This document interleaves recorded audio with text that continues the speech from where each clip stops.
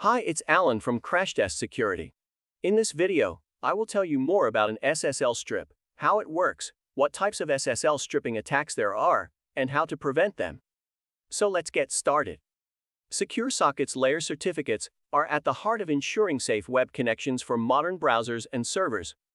An SSL strip essentially entails that a secure HTTPS connection is downgraded. This malicious action is turned into an unsecured HTTP connection, which is not encrypted and thus can give way to different vulnerabilities. SSL stripping attacks are known to enable the widespread man-in-the-middle attacks. They entail that a cybercriminal intercepts secure conversations to access private data. In particular, threat actors can steal information, execute fraudulent transactions, and meddle with personal communications through MITM attacks. What is SSL stripping? In a nutshell, it is an action performed by a malicious user that leads to a downgrade from an HTTPS secure connection to a less secure encrypted HTTP connection. As a result, the whole web connection is not encrypted anymore. This risks individuals and businesses, including loss of private data, fraud, and attacks on larger systems. Let's first look at the basic terms to understand the gravity of the SSL stripping downgrade attack. What's SSL?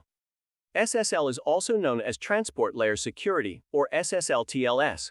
This is how data traffic can be encrypted, and servers can be authenticated to provide a high level of security for web connections. The SSL encryption is executed through a TLS handshake, which starts the conversation between a browser and a server. A user's browser initiates a TLS handshake to establish the connection between the web client and the server.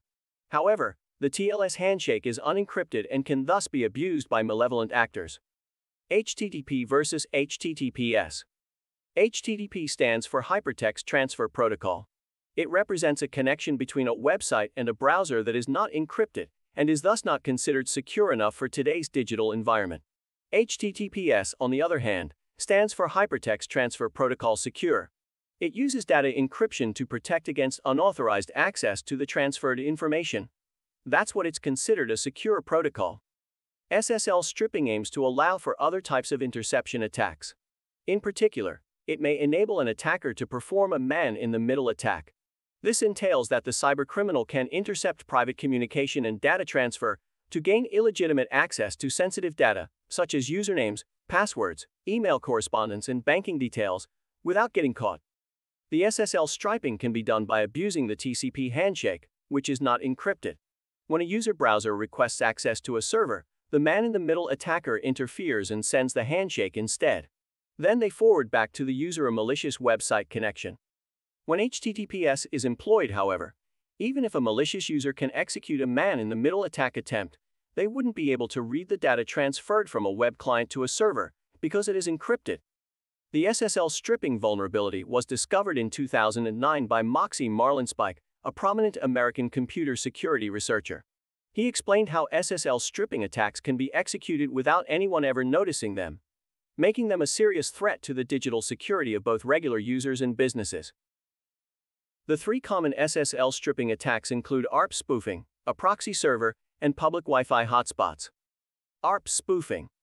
To conduct an SSL stripping, a malicious user connects to a user's IP address via a spoofed ARP, address resolution protocol message. Then the attacker can obtain the data sent to that IP address. Using a proxy server. An attacker can manipulate a browser proxy to route the traffic to their external server. As a result, the attacker will receive every request from the user's side. This allows them to set up malicious connections based on unencrypted requests. Using a fake public Wi-Fi network. Cybercriminals can set up public wireless networks to lure users into connecting to them.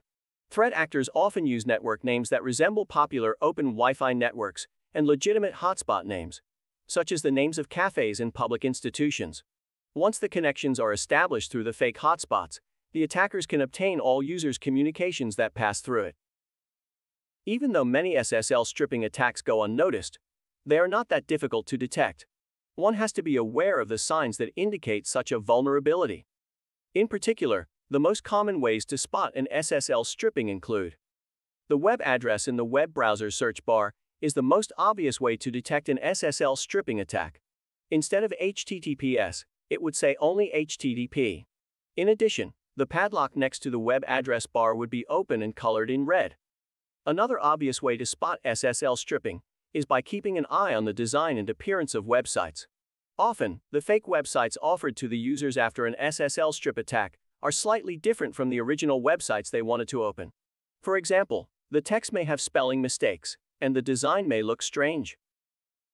Early detection is the best way to minimize the negative effect of SSL stripping. Users must stay on the lookout for the strange appearance of the websites they visit, the padlock color and shape in their browser search bar, and the indication of HTTP or HTTPS in the same place. It's often recommended to manually enter the addresses of websites instead of using redirections from other websites that allow for unauthorized interception. This is how you can prevent a man in the middle attack. Some additional methods to prevent SSL stripping attacks include using a browser extension, such as HTTPS Everywhere, that catches such attacks through employing domain and rule lists, enabling of SSL site-wide instead of only on one web page, using HTTP Strict Transport Security HSTS, which requires websites to allow only connections utilizing HTTPS, using a virtual private networks VPNs, avoiding public Wi-Fi to avoid the interception of sensitive data over an insecure connection, bookmarking of secure websites for future use, avoiding insecure HTTP connections and suspicious links. Try Crashtest Security today to discover how it integrates into your development stack for efficient, automated vulnerability scanning. The trial is free. Also, subscribe to the Crashtest Security channel to get more information about the most significant web security threats, their prevention, and how to use the Crashtest Security Suite. Thank you for watching and see you in our next video.